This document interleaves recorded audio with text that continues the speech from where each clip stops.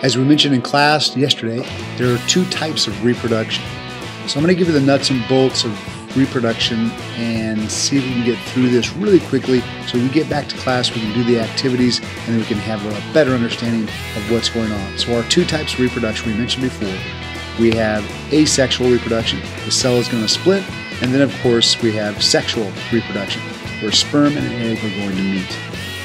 Let's first take a look at asexual reproduction, where the cell simply splits.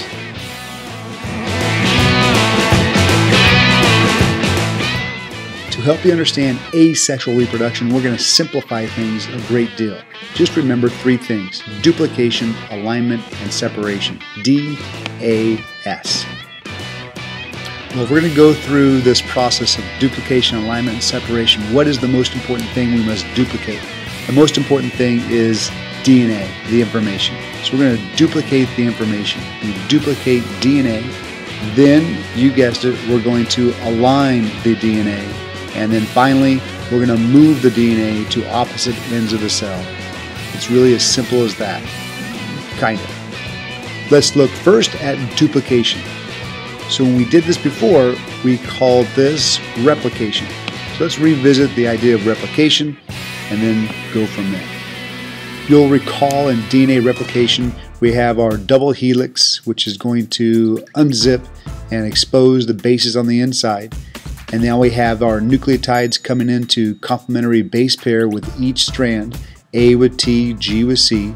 So I end up with a new DNA molecule.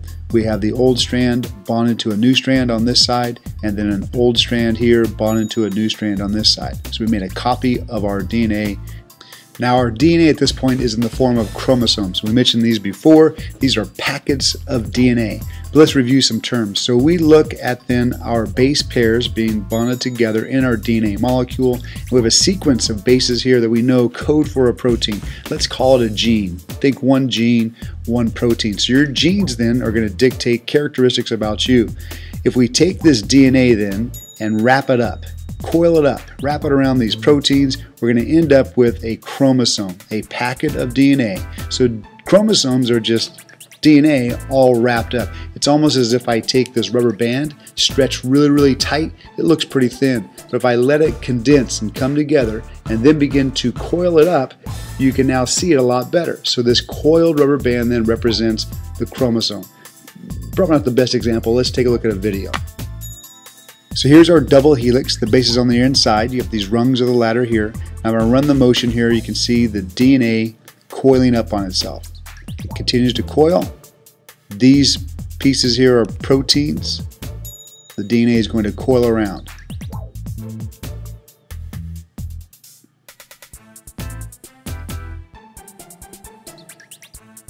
I'll speed this up. So it continues to coil and coil more coiling, more condensing, more coiling, more condensing, until finally we end up with our chromosome. So that's a chromosome, and depending on what organism you have, you have different numbers of chromosomes. And these things for a eukaryotic cell are located in the nucleus. We see then the nucleus here containing all of the chromosomes, and all together, all the chromosomes together, all the DNA information for an organism is known as our genome. Well, let's look at a cell going through this process of asexual reproduction, which we actually call mitosis, and then we'll go into more detail. So here we see the cell going through mitosis, going through this cell division, and we've already had a duplication of the genetic material. Now we can see this genetic material, these chromosomes getting lined up in the middle of the cell. We call this alignment. And then finally, we're going to have these chromosomes, the genetic material is going to separate, move to opposite ends of the cell. There they go.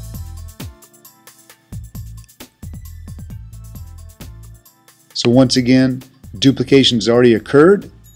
Alignment, separation. Duplication, alignment, separation. Duplication, alignment, and then separation.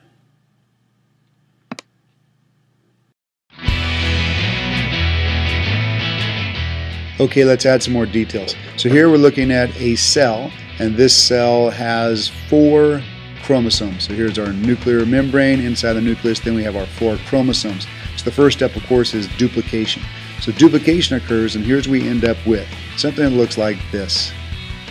So these look like little X's, but what they really are are the following. So I've got a chromosome here, and its duplicate is attached on this side. Where they are attached, we call that the centromere. And now together, all of this is known as sister chromatids. So once again, I have a chromosome. There's one chromosome. We made an exact copy of it. We went through DNA replication. So here's the exact copy of that chromosome. And they're connected once again at what we call the centromere. Now at this point, we go from duplication to alignment. The nuclear membrane begins to break down and now the genetic material, the chromosomes, are going to align in the middle of the cell.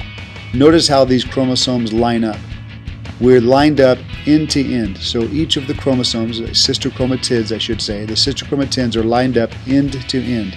And we have these spindle fibers as well connecting to our centromere of each of the sister chromatids. So this is once again the alignment, where they line up in the middle of the cell. After alignment then comes separation, and separation just means that I'll separate my sister chromatids. So the spindle fibers actually pull these apart and we have then the chromosomes move to one end of the cell and the exact duplicates of each one of these chromosomes move to the opposite end of the cell. We then divide up our cytoplasm, reform our nuclear membrane, and in the end we end up with two new cells that are exact copies of each other. I started with four chromosomes, I end up with four chromosomes and two new cells. So we have two cells that are duplicates, exact copies of each other. All right, adding some more detail to this process. Uh, these two new cells gone through mitosis, produced through mitosis, are known as the daughter cells. So I have the parent cell, which then gives rise to, in mitosis, two daughter cells. One more thing, these chromosomes, I have four chromosomes in this particular organism. You in your body have 46 chromosomes. How many pairs do I have here? Well, obviously just two pairs. You have 23 pairs. We call these pairs a special name. These are known as homologous pairs. They're homologous because there is something the same, homo means the same, there's something the same on each of these chromosomes. As it turns out, they carry the same trait. So, for example, you have a tongue rolling trait. Either you can roll your tongue or you can't roll your tongue.